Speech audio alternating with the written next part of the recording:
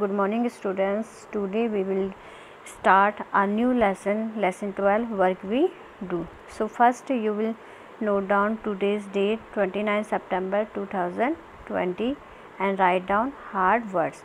So first hard word we have s h o p k double e p r shopkeeper. Second hard word is d o c t o r doctor third is c a r P E N T E R carpenter. Fourth is M A S O N mason. Fifth is N U R S E nurse. Sixth is L A B O U R E R laborer. Seventh is C O double B L E R cobbler. Eighth is B U I L D I N G S buildings.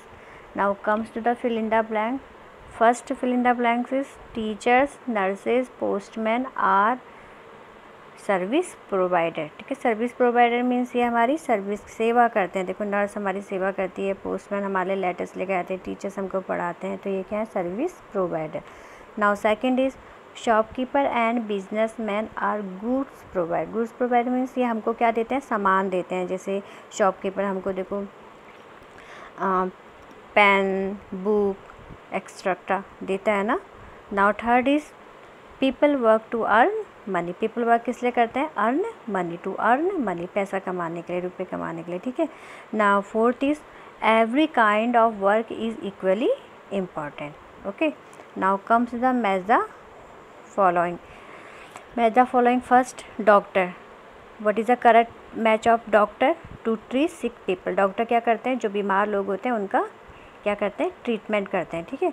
Now mechanic mechanic to repair the vehicles जो हमारी गाड़ियाँ जो ख़राब हो जाती हैं, उनको क्या करते हैं? रिपेयर करते हैं. पोस्टमैन टू डिलीवर लेटर्स क्या करते हैं? लेटर्स को डिलीवर करते हैं, हमारे घर पहुँचाते हैं लेटर्स ना. Fire fighter to put off fire fire fighter किस लिए यूज़ होता है? आग बुझाने के काम में, ठीक है?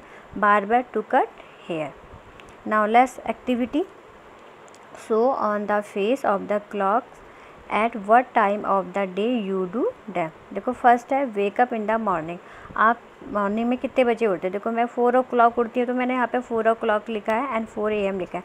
आप जिस टाइम पे आप मॉर्निंग में उठते हो, आप उसी टाइम का क्लॉक बनाएँगे और वही टाइम यहाँ पे मेंशन करेंगे, ठीक है? Now second activity sit down to study at home और आप पढ़ने के लिए किस टाइम पर बैठते हो? आपने यहाँ पर टाइमिंग शो करना है और यहाँ पर लिखना है, ठीक है? Okay thank you